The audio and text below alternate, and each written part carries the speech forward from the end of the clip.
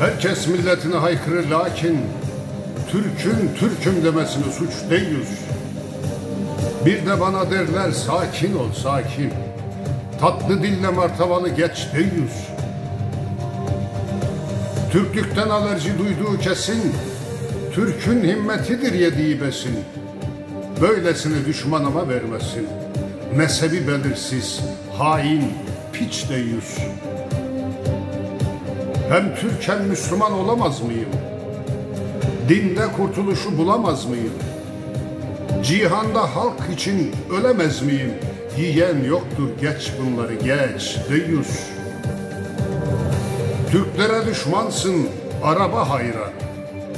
Deve sidiği mi içtiğin ayran? Hak değil mi milletler ayıran? Ayetlerde kulağını aç deyus. Hucuret suresi 13'e bakın. Bir kere imanlı tavrını takın. Siz dini bozdukça kıyamet yakın. Adam olup doğru yolu seç deyüz. Dünyada insanlar biçim biçimdir. Milliyet kaderdir, İslam seçimdir. Herkesi hoş görmek bakış açımdır. İçimize biraz umut saç deyüz. İslam evrenseldir, her dile uyar. Müslüman her dilde İslam'ı yayar. Oturup kendine verirsen ayar, hak aşkını damla damla içte yüz.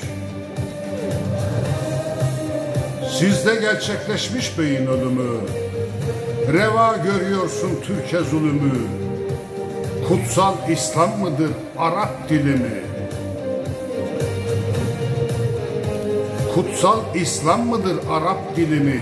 İstemezsen bu ülkeden göç deyiz. Allah'ın verdiği mesaj evrensel. Dinsizse insanlar dökülür tel tel. İman ver Haydar'a gelmeden ecel.